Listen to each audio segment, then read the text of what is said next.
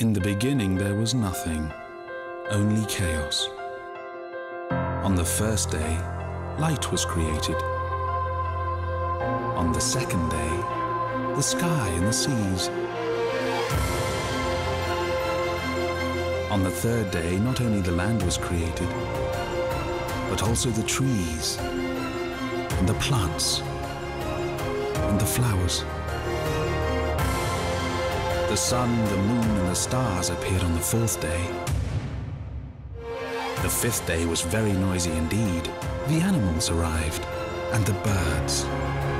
On the sixth day, man was created. And on the seventh day,